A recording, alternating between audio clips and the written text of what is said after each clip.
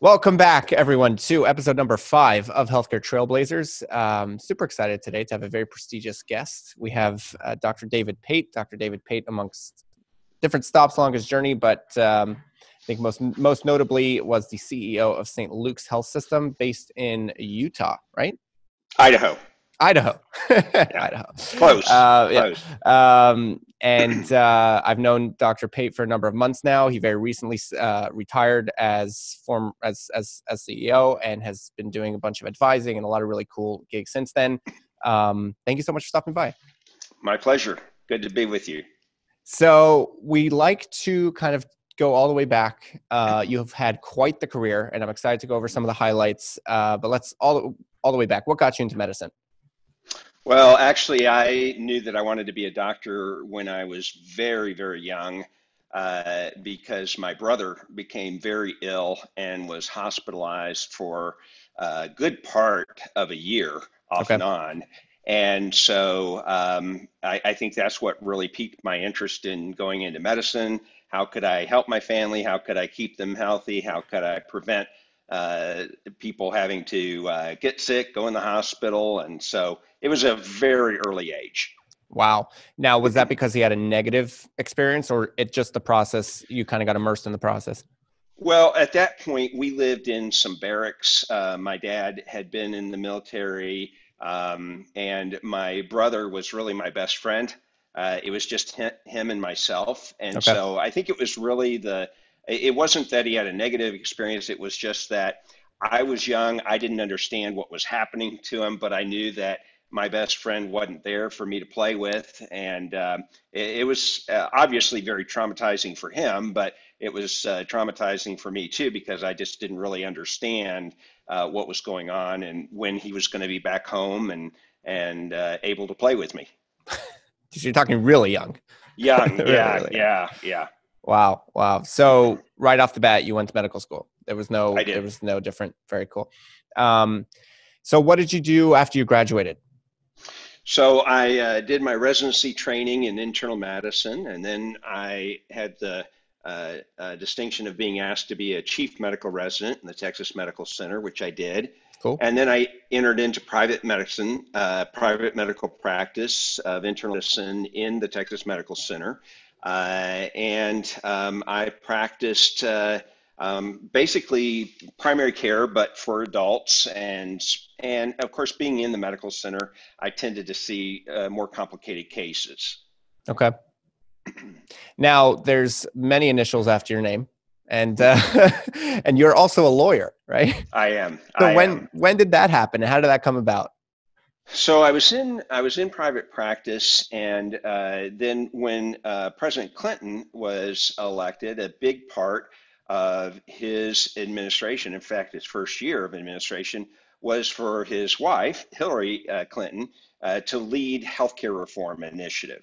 And at that point, I started getting very interested in how could I improve the system? How could I impact more people than just the one patient at a time that was sitting in my office?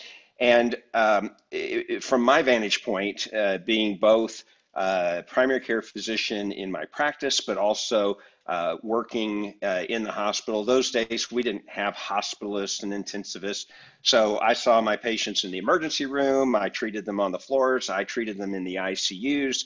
And so I, I really had this very good look at all the pieces of our healthcare and how overwhelming it was for patients and how really inefficient it was and how it could be improved. And so I got very interested in healthcare reform at that time. And wondering how could I make a difference, I decided to go to law school because I could do that at night and keep my practice. So um, uh, I, I went went to law school. I focused on health law, and uh, I had a outstanding office nurse who would take the calls uh, during the evenings when I was in class and determine which ones could wait till I got out of class, which ones did I need to be interrupted for, and um, and so she assisted me in being able to get through uh, four years of law school going at night. Wow. yeah.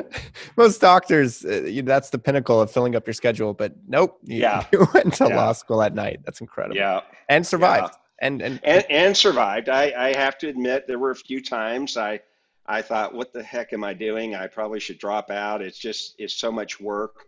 Um, but um, but on the weekends, I had two young uh, girls. I would take them to uh, a playground, or I would take them to uh, one of these uh, amusement things where I could sit there, drink coffee, read my legal books, and the kids could play. and and so that was uh, how we got through it. Wow, that's that's really incredible, and something out there to a lot of people that say, you know, they're too busy um, to get one career You're out there doing well, I, I, think the other thing is that my wife was incredibly supportive, and uh, I, I certainly couldn't have done it without her because she had to uh, pick up a lot of the slack, obviously.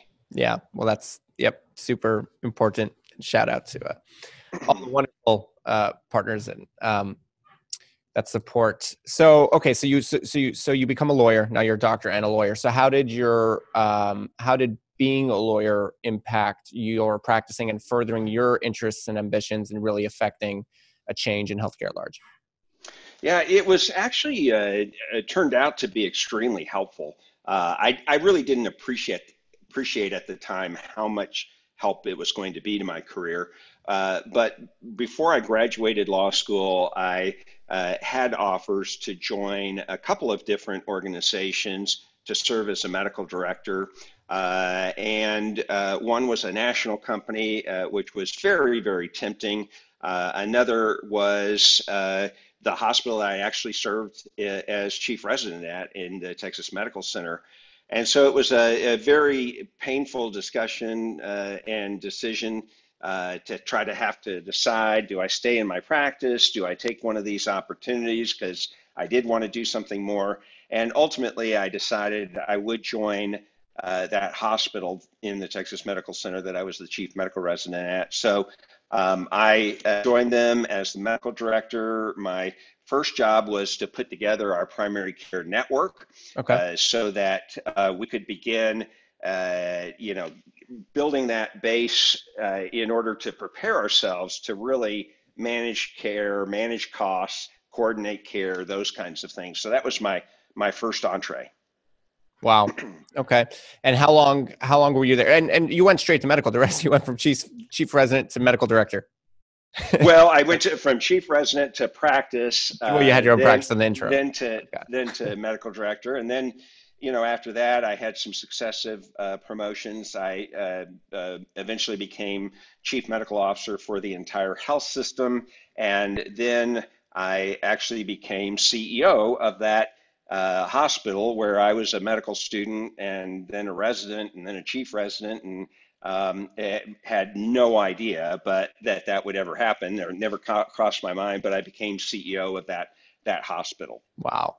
What a story! They you're probably the poster yeah. uh, the poster boy for them. You know, away from yeah. A to uh, CEO. That's incredible. So, how long? How many years did you stick around there? What was that? So, so I was, um, I, I, was, you know, by the time I was CEO, I was there for about three and a half years when a recruiter contacted me uh, who indicated that um, he was looking for the president and CEO of St. Luke's Health System uh, here in Idaho. and um, I had really never contemplated uh, coming to Idaho. Uh, frankly, uh, all my family was in Houston. Uh, that's I'd been there for 33 years. Uh, but he, you know, I trusted him, and I, I said, okay, well, look, I'll just go up there and see. I've never been to Idaho. Uh, actually, I fell in love uh, with Boise overnight. Okay. It, it, was amazing weather. I didn't mind getting away from the humidity uh, of Houston. It's right. uh, uh, beautiful up here. Um, and uh, what was most appealing to me is that ever since that time when I spoke about with uh, President Clinton coming into office and my desire to have some kind of role in healthcare transformation, healthcare reform, when I looked at the situation in Idaho with St. Luke's Health System, I realized this is the place I could actually do it. I could hmm. actually change healthcare. I could actually make a difference. And, and we're so poised uh, here to be able to do that. And that was what the real exciting opportunity was. And so eventually I, I did, I was offered and I accepted the position. I came here and I was uh, C, CEO of the health system for about 10 and a half years. Wow. What about the system told you that this was a great canvas for you to, to, to, to paint your beautiful picture of change on? So, you know, one of the fundamental problems with managed care or taking risk for uh, uh, patients is that if you're really going to coordinate that care and take financial risk for it, you don't want what a lot of people would refer to as leakage. You don't want people, you know, moving in and outside of your network, your your uh, delivery system, because then you lose control of the costs. And so here in Idaho, uh, what the, the, situation was is there really was two health systems here uh, in this part of the state, and people tended to have a great deal of loyalty to one or the other. Hmm. And so uh, lots of patients at St. Luke's that were born at St. Luke's uh, then grew up, delivered their babies at St. Luke's, and then those kids grew up and stayed. And so um, what I saw was this great ability to have this longitudinal care of, of them. And, you know, of course, one of the reasons why uh, it, it, transitions to value have been so hard for payers is that people switch payers all the time and you know you change employment you get a new insurance company whatever uh, somebody changes the rate and of course we know people will change healthcare plans for a premium difference of five dollars a month yeah. and so what was important to me is um, they could they could move payers but if if they were staying with st luke's we had the opportunity, we could take the risk, we could make investments in their health. That if you're the payer, you're not going to make a lot of investments because they may not be with you more than one, two, three, four years, and it takes a long time for those pay, those investments to pay off. But we could make them, and they would actually pay off for us. And so I thought, this is the way to do it. And Incredible. It was Incredible. exciting. Wow. Yeah. So you started mentioning a little bit. So I want to jump back out and uh, kind of give two of the highlights, I think, of your 10 plus years at St. Luke's. And uh, you grew the revenue to $3 billion um, yeah. through your time there, which is an incredible, incredible achievement. And then in addition to that, not only did you grow the revenue to $3 billion, but you tr- transformed a third, right? A third of that revenue yes. into yeah. uh, risk and value based care kind of payments, which I think a lot of people see as two conflicting things. That if oh, yeah. you're taking risk and you're probably losing money, um, and you've managed to not only um, take on a whole bunch of risk, not only did you not lose money, but you did that while growing those revenues. So I think I, I know you have a lot of little secret sauces as far as um, what went in to make that great match and make sure that both of those things uh, work together and not uh, and not against each other. So let's get into it. Value based care, super important to you. Uh, clearly, it goes all the way back to the Clinton administration when you wanted went to become a lawyer so you can affect change. Um, so that yeah, talk to us about the journey at St. Luke's and transforming it into a system that's proud to say that over a third of their revenue is in value-based care. Yeah, so uh, so you're right. Let me just describe a minute uh, that endpoint, and then I'll go back and and tell the story. But so of that three billion in revenue, what we're talking about is a billion was in full risk, meaning global capitation. In other words, uh, for any of your listeners that don't know what that is, that means we took a fixed payment uh, every month, and then we were responsible for all the care that was necessary for that patient, no matter where they got the care. Uh, and so um, that was where we got to. Now, going back to the beginning, of course, you don't do this overnight. Uh, so, what we did is when I got there, the first thing is um, that I actually had to spend the first couple of years just making sure that my executive team and the board understood what we were going to do and agreed with it because obviously if you're going to change your business model you're taking a huge risk many industries have failed because the business model changed on them uh, and they didn't evolve. In this case, I was talking about us purposely changing the business model so we would have a little bit more control of it. But obviously, you don't want to do that unless your team is aligned with you and your board is aligned with you because it's not going to be smooth sailing. There's going to be lots of bumps in, in the road, and you want to make sure that everybody is aligned. So we did that. The big thing that was extremely helpful about that is when I uh, became CEO of St. Luke's Health System, it was six months before the Affordable Care Act passed. So I, I, mentioned before about the Clinton administration efforts, but now we're in the Obama years and the first year and the Affordable Care Act. And so this is a national discussion about healthcare reform. And at that point, of course, we couldn't have known whether it was going to end up passing or not. It was very contentious. But it's the platform that I used to talk to my team and the board that the very fact that the president, Congress, feels the need to change our healthcare delivery system, that's a warning sign that they see our healthcare delivery system is broken. They need to take action. And so, did we want to let Washington impose change on us, or did we want to take control and drive our future? And that was basically what we decided. Flash forward six months later, the Affordable Care Act would pass. And you were uh, ready. But we were ready and we were getting ready. And so what we started doing is figuring out okay, we've lived in fee for service where we get paid for everything we do, regardless of whether it's necessary, regardless of whether there's a good outcome, um, whether the, regardless of whether there's an alternative that's less expensive, you just get paid. And so that was the business model. Now we're talking about going to a system where we're going to take on all the financial risk, where where whatever we do now, instead of the services being provided are now a source of revenue, fee for service, now everything we do is a cost and it comes, it gets deducted from our monthly uh, fixed payment for these folks. So what we did is uh, we looked at um, all aspects of this. So the first thing is you obviously don't want to compensate your executive team based on fee for service metrics you know the the growth in volumes uh, the increase in re- revenues you've got to change it so that your executive team is not going to be financially penalized for trying to keep people out of hospitals and try to to uh, make sure people stay healthy and don't need your services. So you need to make sure there are no competing incentives. And so basically, um, it was easy at our health system because we didn't have a bonus system. We were one of the very few health systems that didn't.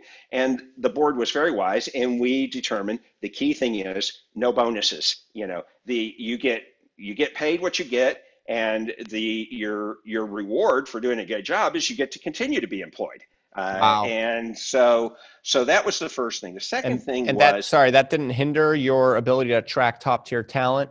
We worried it would. It didn't. It didn't at all. Wow. Because what was what, what was happening, Mendel, is that when people were hearing about what we want to do, they aligned with that vision and they were they were like this is exciting i want to be part of this hmm. and so we actually had we i cannot think of one case. A lot of people ask questions about it because they were used to bonus systems in their previous jobs. So they would ask questions, but I don't re- recall one person turning down an offer for us because we didn't have a bonus system. Wow. Uh, and uh, so that was the first thing. The second thing was if, if we're going to do this, we have got to drive our quality to the highest possible levels because better quality is lower cost. If you don't perform surgery well, what do you get? You get complications.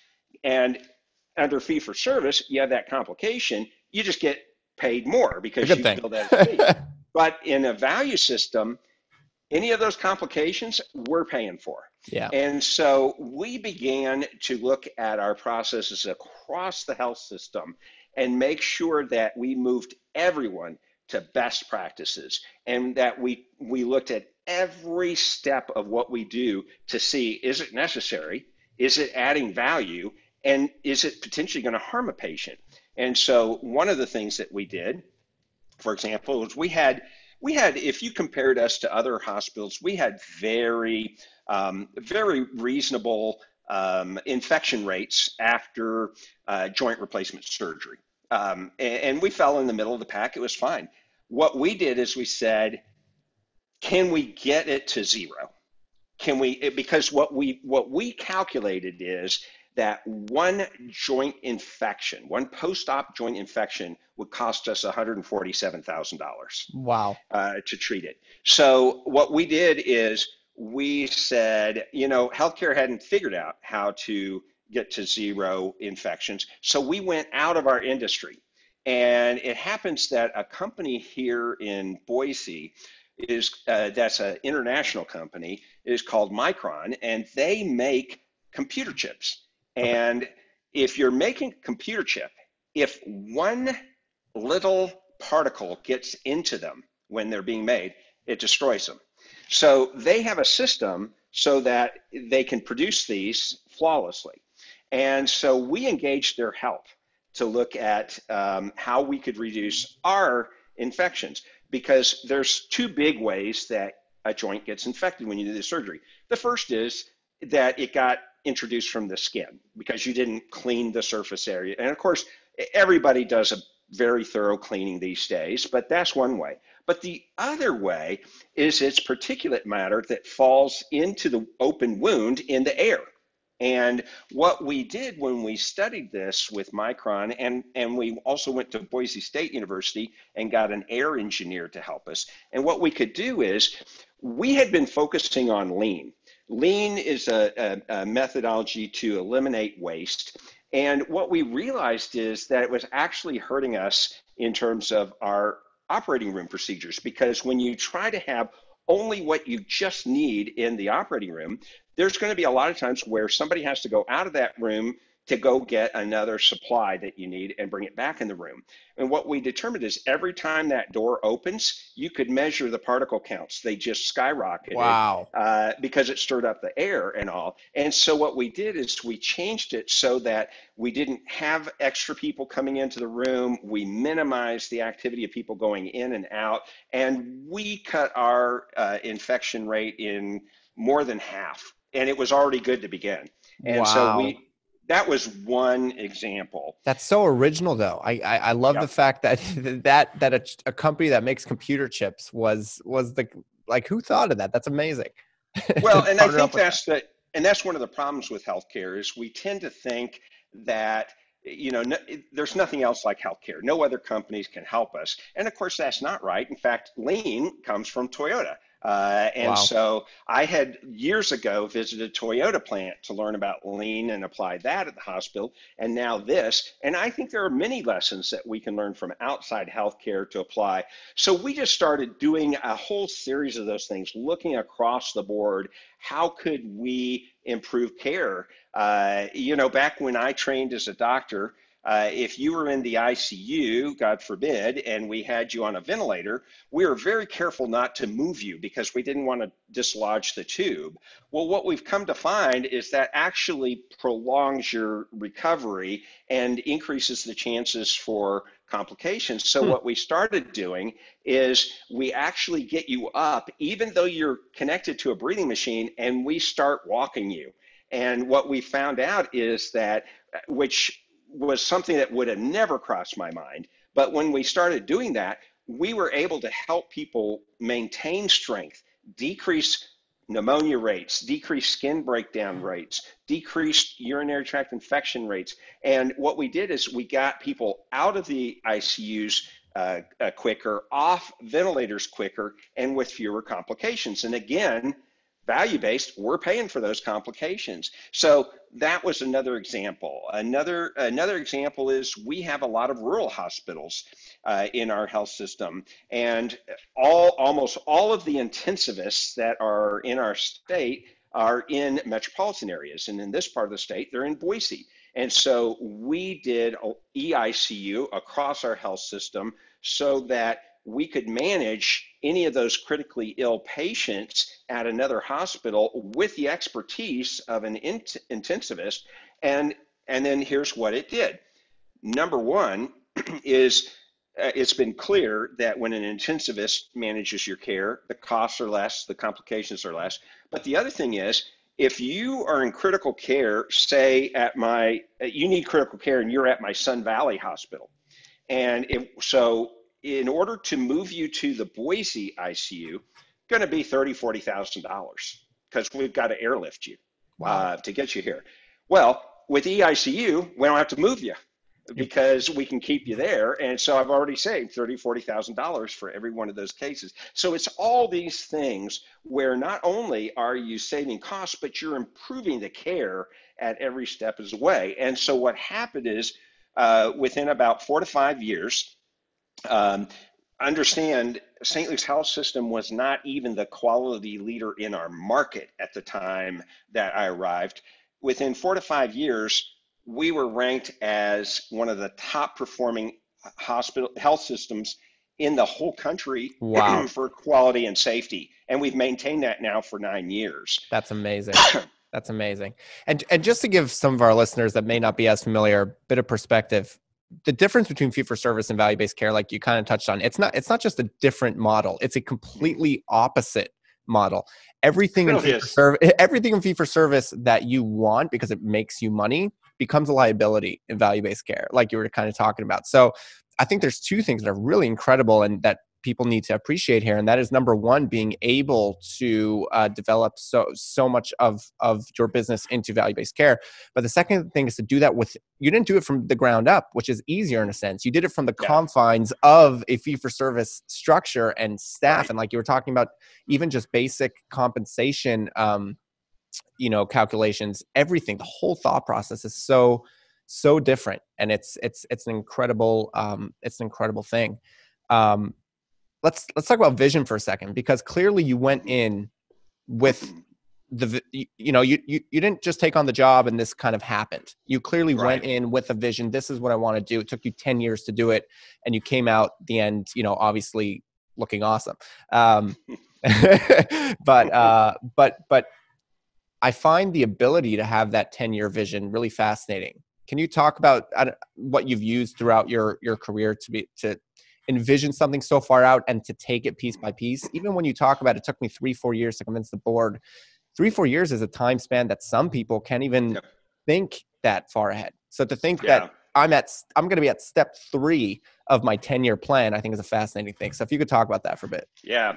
Well, eh, Mendel, that's probably the most important question you've asked me. And that is that I do think vision is the key to success if you have a great vision, it doesn't mean you're going to be successful. But if you don't have a good vision, it's highly unlikely you're going to be successful. And so, you, you know, I think for us, and, and of course across the country, if you talk with CEOs of health systems across the country, it, it, it is going to be almost every one of them that will tell you, yes, healthcare is going to move towards value. Uh, it is moving towards value and it will continue to. Almost everybody will. so, what I say is uh, to people that ask me about this is look, you need to start with a world vision, a real a world view. What is your view of the world? In other words, do you believe that fee for service is working? Do you believe that the American healthcare system can sustain fee for service? Do you believe that employers will continue to pay annual increases in uh, fee for service rates? Do you believe that payers will? Do you believe the government will? And you know, it's interesting because when you ask those questions, most people will tell you, no, that's not going to work. If you really believe that, if that is your worldview, then you want to do something to change it, change your positioning for that. And it's amazing that very few health systems have made much of a change. When you ask um, people around the country, oftentimes they'll tell you, you know, three, four percent of their business is, is at risk. And again, I'm talking about what we did at St. Luke's, where it's a third uh, of our business. Um, and um, and the problem is, if you dabble like three to four percent, you're not going to pay. That's not the book of business you're going to pay uh, pay attention to because guess what? The 97 or 96 percent is fee for service. That's what you're going to focus on, and that's why those health systems aren't making much progress. With us, uh, I said, if this is our worldview, and it was, everybody agreed fee for service could not uh, be sustainable long term, then it's better for us to make the changes because when you do change business models, you often have a period of a few years where you lose money doing that. And so I think the next question after is what is your worldview? Is if you agree that that's the view, then do you want to make the change now while you're still doing well in fee for service and it can subsidize your losses? Or do you want to wait until the government, payers, and employers drive your fee for service rates down to where you're breaking even or losing money and now try to change your business model and lose money on top of that. And our board decided, no, we'd rather make that change now. And it took us about three to four years to get to profitability with the change. So I was glad we did it now and and position. And now we know how to do this. Yeah. And so it's been easy to uh, continue to add on to that business. In fact, uh, since I've been retired in the last two years, uh, I understand now the health system is up closer to about 45% uh, uh, global cap arrangements where we're at full risk. So that's easy to do. And in fact, you'll want to do it. And, and it's because of the point you made, Mendel, that fee for service and pay for value are completely at, at conflict and it, especially if you're taking full risk.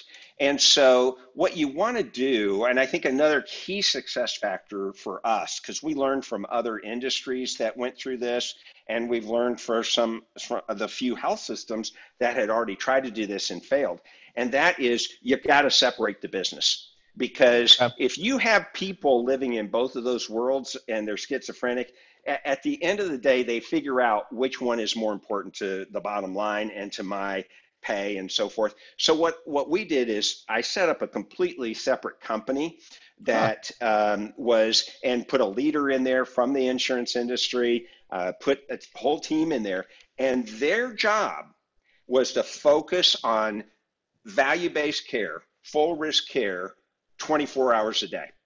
They were not to consider fee for service. They were not to be intimidated by any of the folks on our health system side that were upset about what was happening to fee for service. You just drive the volume based care, the, the, the value based care, the, the risk, all of the changes we need to make, investing in the analytics, investing in the care management, investing in utilization management, all those things that we need to do. You do that and you do it without any encumbrance from the fee for service part. That's another key part of it.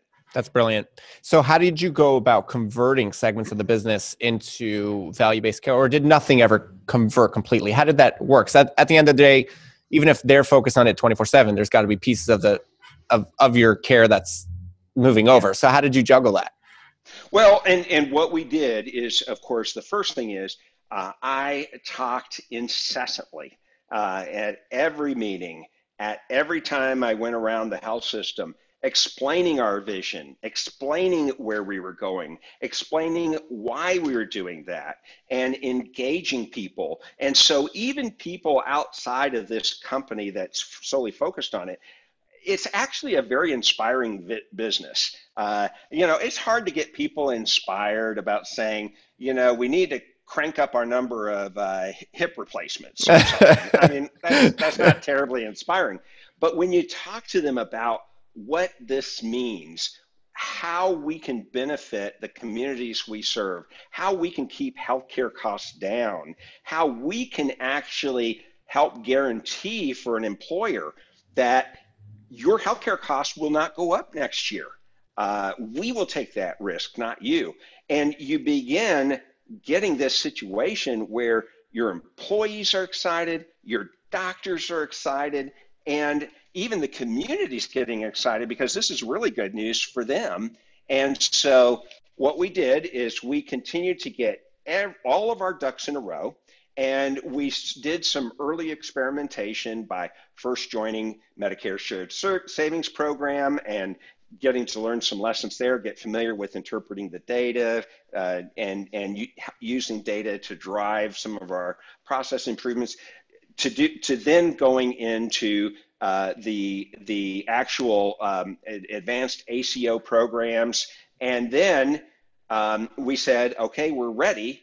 And then on uh, January 1st of 2017, so seven years in, we said that's our date. And every payer agreement that we could, every employer agreement we could, we shifted them all to uh, to global cap because w- what we said, and I think this is another mistake, as I mentioned, a lot of health systems saying they got three or four percent of their business in risk. You're not going to learn. You're not going to. Uh, that's not what you're going to focus on. What we said is we have to jump into the deep end.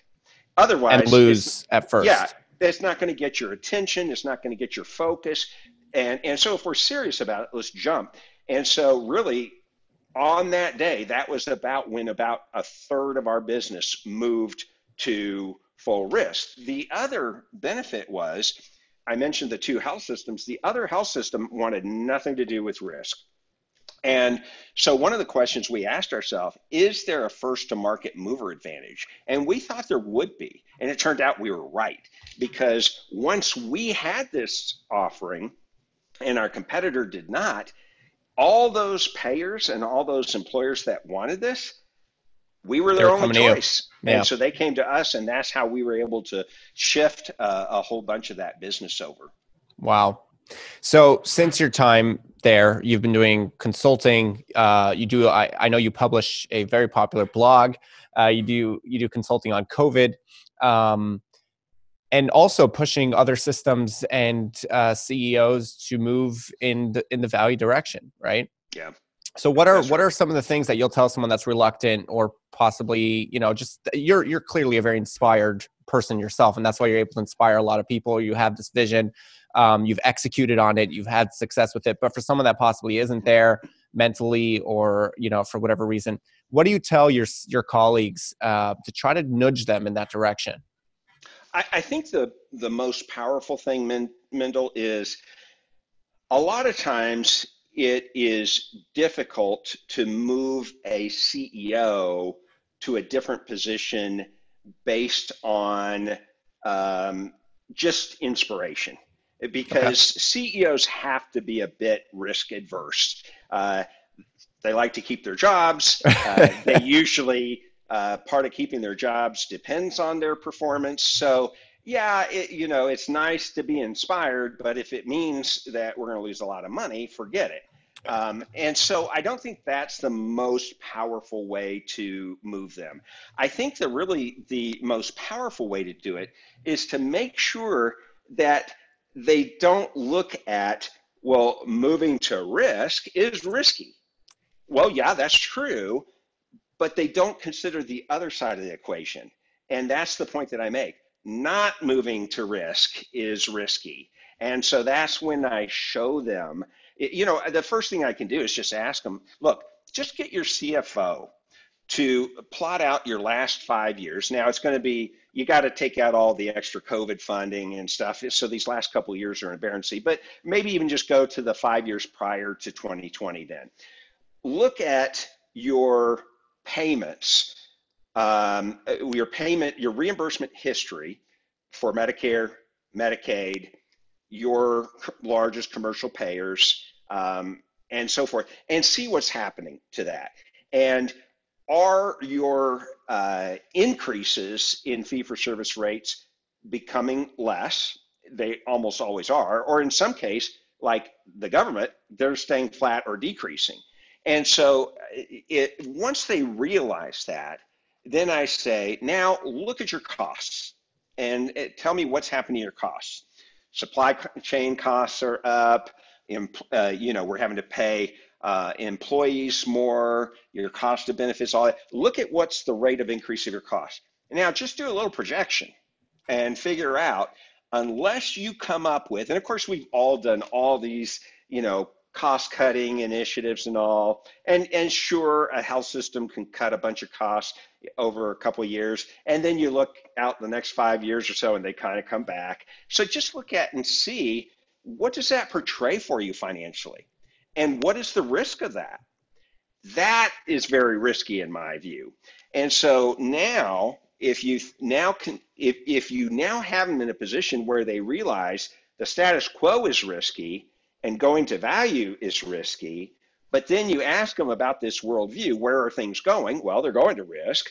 Uh, and you ask them about and if you think it's going there, do you think there would be a first to market mover advantage? And of course, I can share what's happening there. And and by the time you start adding everything up, it's like it's almost a slam dunk. Oh my God, yeah, we need to change to risk, and we need to do it now. Right. And then it's a question of they just don't know how, and and because all of them have spent their careers in fee for service but so you have to you know help them with a roadmap that like what we've talked about how you do that. And, and it is hard work. Yeah. and it means changing the investments you're making. It, it, it means changing your philosophy your outlook. It means looking top to bottom like we talked about uh, from incentive pay to how you are actually what things you're making investments in and uh, you know no longer is this uh, a, an arms race with your competitor about can you market that hey we've got this brand new machine that can do something.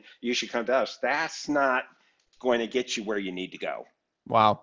So yeah i mean it's a fascinating thing of the human condition that we're we're we're more prone to deal with something that's familiar to us even though it's terrible yeah. rather than move to something that's that's less familiar so I, your message is i guess you know take your head out of the sand look around yep. you and yep. uh, start taking some actions, including joining an ACO, some of the things you mentioned, uh, take some baby steps, um, but really put some focus on moving to value based care. Exactly. Yeah. yeah. Well, we're just about up on our time. It's really good to see you again. Always uh, a very, it's a breath of fresh air always talking to you. So I appreciate you making time. And uh, best of luck with, with everything. Hope to talk to you again soon. Well, thank you, Mendel. Thanks for having me and uh, great to talk about all this with you.